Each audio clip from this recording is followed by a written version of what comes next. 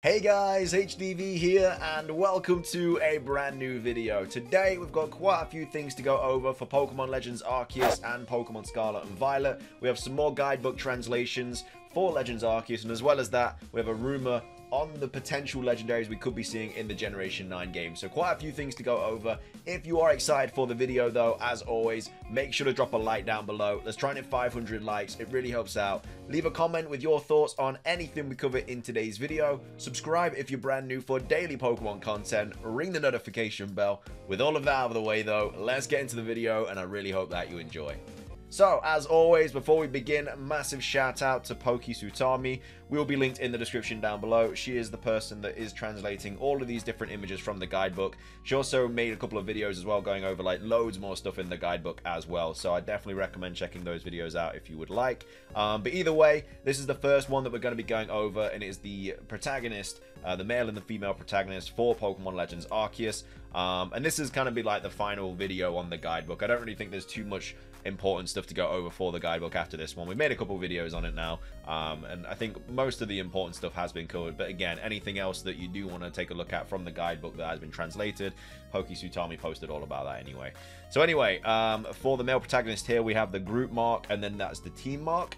Um, I remember when we thought this was like way back when when we like realized this was like galactic stuff and everything. This is what I mean. This is why like speculation is so cool and stuff because when we saw that on the arm, um, we like guessed it was something to do with Galactic and obviously the Galactic team and everything. So anyway, fastener at the bottom um, is this, and then over here we have the indigo dyed cotton, and then we also have the team mark badge pin there, and then front there, and then again. I, not only do I like seeing like the translations and stuff, I just like seeing all the concept art and the different character art and stuff for the different characters in Pokemon Legends Arceus. It just makes it look even cooler. But anyway, that is the male and the female protagonist. Next up, we're moving on to the Commander, um, which again will all be featured in like this video there. Um, and says a video with further notes on this again will be translated in the release artwork will be linked below. But anyway, uh, here we have um, fur collar Chester coat. And then here he is, I don't know, after realizing that, you know, the protagonist ain't actually too bad, compassionately cries easily. Um, and then that is embroidered there. Um, and then over here we have him with a Snorlax kind of just meditating or something. And then that's the family crest, and then that's the group mark, and then the boss badge, and then it's engraved. So I like, I like that image there, to be fair. But anyway, that is Commander uh, Kamado. Anyway, next up, we're going to be moving on to Cyllene, the leader of the Galactic, or one of the leaders, I guess. Um, and here you can see this is the team badge. Some more character art here, different designs from different angles. Then here she is not fond of bug Pokemon, which I'm surprised at because she gives off a very kind of confident vibe. Um, but here she is not being confident at all when she sees that Wurmple. Uh, and there is a seam on the leggings, and then the team mark again, and the group mark. And then down here it says, under these shoes are Japanese uh, straw shoes, uh, which covers uh, to protect against the cold snow. So maybe she makes quite a few trips to the Alabaster Islands or something. Um, but either way, that is all the Cyllene stuff. And then uh, does Cogita have a design page? No, even though she should. Um, so again, you won't be seeing any um, character art on that person. Next up, though, we're moving on to Laventon, um, the professor. So here we have um, him without his like um, lab coat on and stuff, and he looks completely different. So that's a decorative button there, and then without white jacket and hat. Here he is freezing in the snow, probably in the Alabaster Islands. Then we have the knit cap uh, pattern part, and then the stoop bent neck. And then down here we have all the different kind of facial expressions, default, happy, angry, surprised, and troubled. So yeah, that's what he looks like without his um, lab coat on and stuff and his little woolly hat. So yeah, this is why the character art's cool, because you actually get to see what characters look like and stuff um, without like the normal stuff that you see him in. Next up, we're moving on to uh, what's the face? Cannot remember her name. Why is it? Um, pupil shape like an inverted triangle shape and then there she is laughing, I guess, haha. And then thick, strong, uh, thick string cross stitched, which is obviously this kind of like jacket jumper thingy. Uh, and then here she is kind of imagining different people, I think, or something. And then pear body shape silhouette. And then again, some more just translations and more character art and stuff of, of her. Uh, next up, we're moving on to Lian, which again, another Pearl Clan member. This is without his hat, so hat often moves. He's got this nice, like, fluffy hair, I guess. And then a pickaxe for mining inserted in on the waist. Um, I don't think I noticed that pickaxe behind in his belt before, but I don't know, never saw it. And then we have a jasper stone, and then this will pop and pass, uh, and then snap close right. And then again, him just looking at something there. Um, being very, I don't know, I guess intuitive or whatever.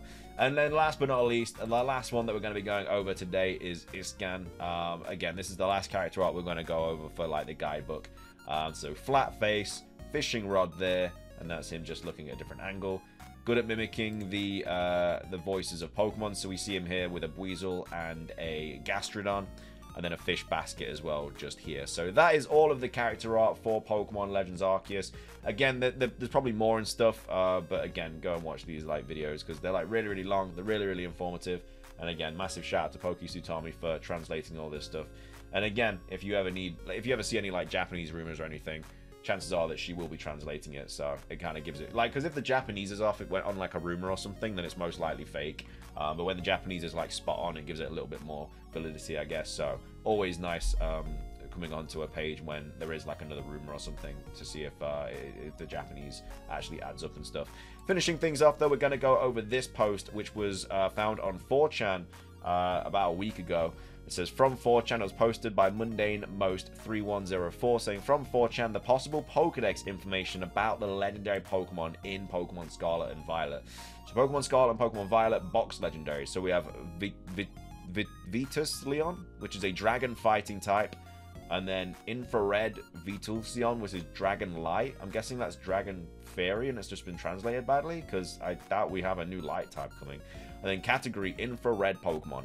It's untouched. So this is the Pokedex entry, apparently. Um, so its untouchable body can absorb low frequency waves to use against his opponents. Uh, legend. Hmm, that's interesting. I mean, unless it's just only a male Pokemon, it usually says against its opponents, right? Unless this Pokemon can only be male. Uh, Legend says that he is always observing us from somewhere.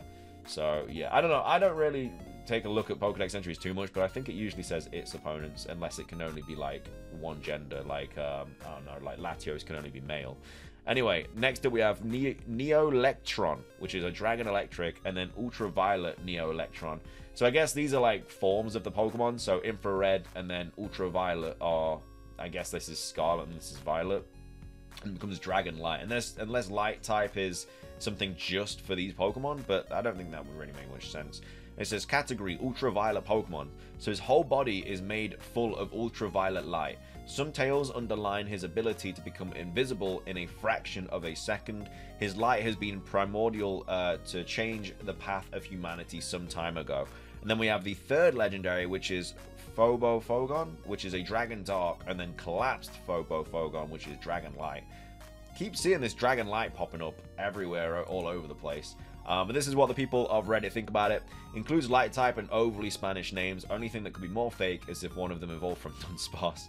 Um, actually, they're both evolved from Dunsparce. Uh, fake. The Pokedex translations are usually pretty good in my opinion, but the phrasing in Neo Electron's Pokedex entry is really bad. His whole body is made full of isn't proper grammar. There's weird usage of the word underline and has been primordial. Doesn't seem right. These are kids' games, and they try to simplify that as much as possible to avoid confusion. Uh, I miss when fake leaks were photoshopped CoroCoro scans. Uh, now it's nerds writing Pokemon fan fiction. The idea sounds so dumb and obviously fake. Uh, horribly fake post. Uh, light type. Names are too Spanish for legendary Pokemon. Its untouchable body and the numerous grammatical errors throughout both descriptions. His light has been primordial. Come on. Second Mon's paragraph uses he, him pronouns, but the first uses it, it's not a single box legendary Pokemon uh, Dex entries had gender pronouns of any sort. Despite what the rest of the entry says, Solgaleo and Lunala being male and female evolutions of Cosmog, yet they still use its. Uh, I don't think Solgaleo and Lunala are male and female evolutions of Cosmog, right? I think it just depends on what game you evolve it in. I'm not sure. I don't know. Uh, weird that one is gendered. Have any of the box legends had a gender before? I believe Zacian's Pokedex entry said it's along the lines that Zacian is referred to as an elder sister to Zamazenta. So yeah, it's not very often we have like pronouns for legendary Pokemon, but either way, that is going to be everything for today's video. I hope you guys enjoyed it. If you did, make sure to drop a like down below. Let's try and hit 500 likes. Leave a comment. What are your thoughts on this rumor? Do you think these legendaries are real? Do you think this is actual Pokedex entries from Pokemon Scarlet and Violet? I think it's fake as hell. I don't think this is true in the slightest. I think it is just made up um, 100%. And again, the light typing is a massive giveaway. Um, and again, we don't usually see pronouns being used in Pokedex entries for legendary Pokemon.